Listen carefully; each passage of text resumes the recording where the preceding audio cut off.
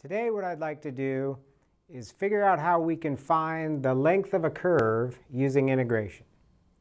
So say we've got this curve here, y equal f of x, and we want to know how long it is from x equal a to x equal b. And one of our criteria is going to be that the function be differentiable. And in a moment, we'll see why we need that criteria.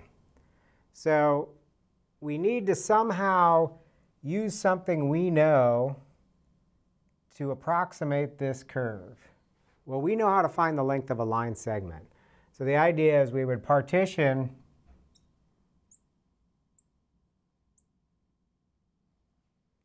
our x interval and join the endpoints of all those subintervals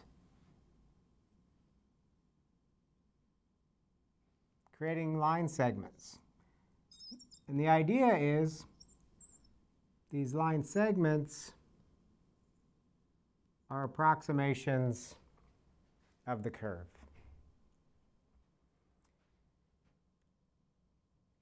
As we make this partition such that those subintervals get skinnier and skinnier, these line segments will get shorter and shorter, and they'll get better and better at approximating the length of the curve. So let's just look at one of those line segments. So the first thing to notice that this is different than when we did area or volume for that matter. We're not making the function constant, so it's not a series of horizontal line segments. It's actually the slope that we're fixing. So over each one of these subintervals, the slope is thought of as being a constant.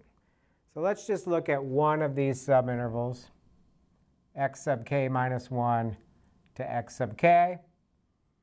And what I'm going to do is draw a little right triangle there. And what we're interested in is the length of the hypotenuse of that right triangle. Now the reason I do that is that that's going to relate our change in x and our change in y to the length of that line segment, and we know how to do that by Pythagoras. So let's redraw that right here so we can see it.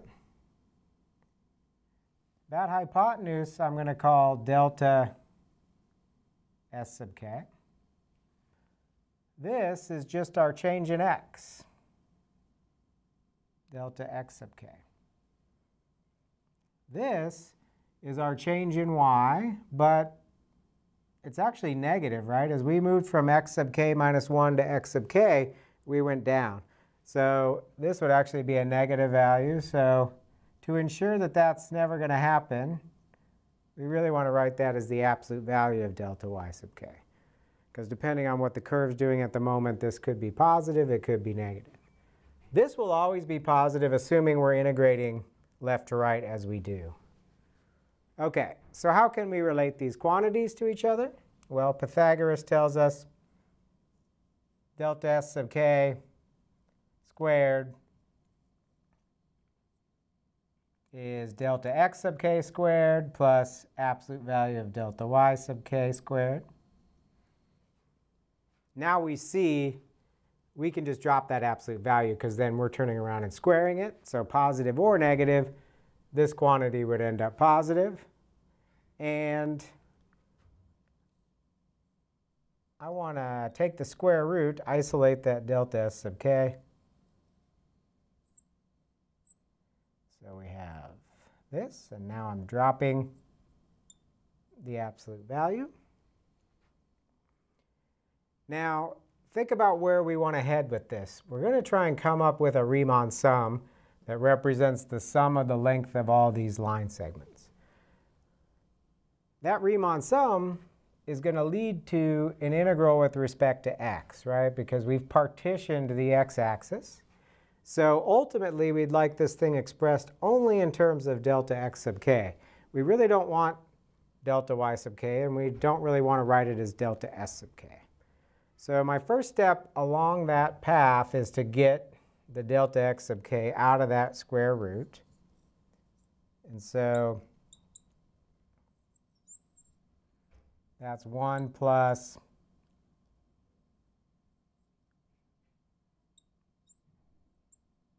when we divide through by our delta x sub k squared, we would have that. And then outside of the square root, that's just delta x sub k. Okay, now we're almost there. We have to deal with this delta y sub k, delta x sub k. What is that?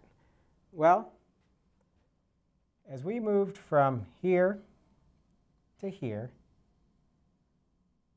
that's change in y over change in x.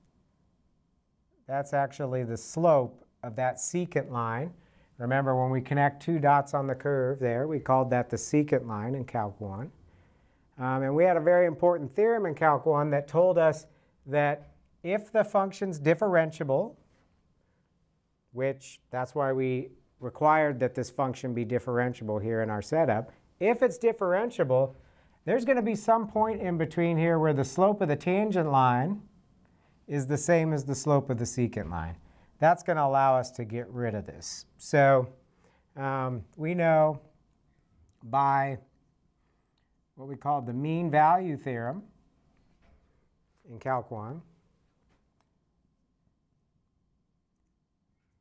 there exists some point, we don't know where it is, but the key is it exists.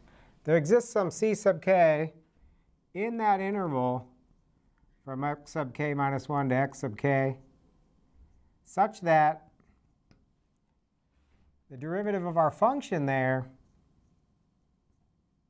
is equal to the slope of that secant line.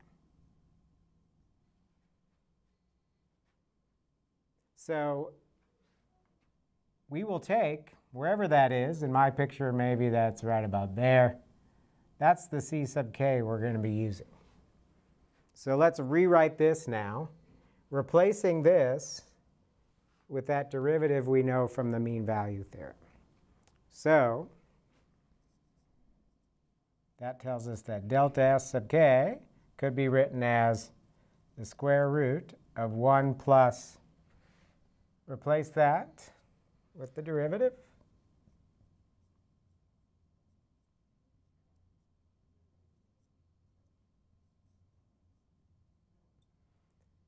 And now we have something that looks like the form in a Riemann sum. So the length of this curve would be approximately the sum of all those little line segments. All those little delta S sub k's.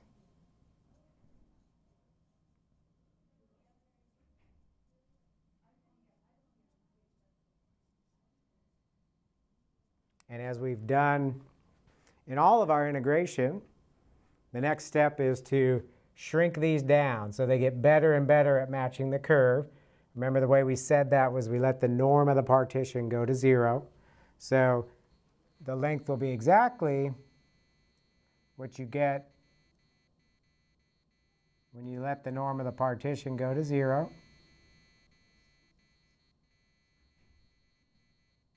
of that expression.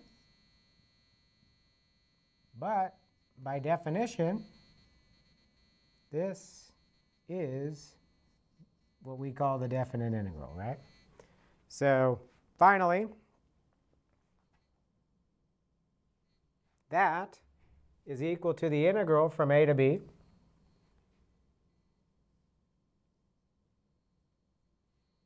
of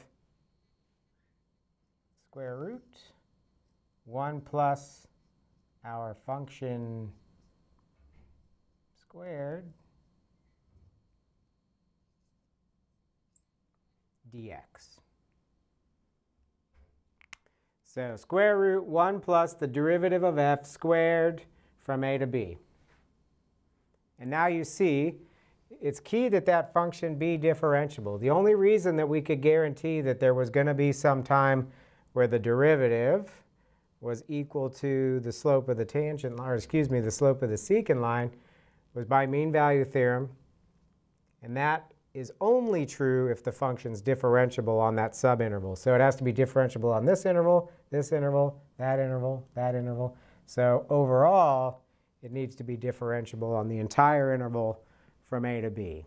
But now we have the length of a curve expressed in terms of an integral.